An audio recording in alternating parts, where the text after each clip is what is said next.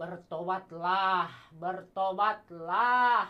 Anda tahu Dajjal sudah dekat, tolong bertobat.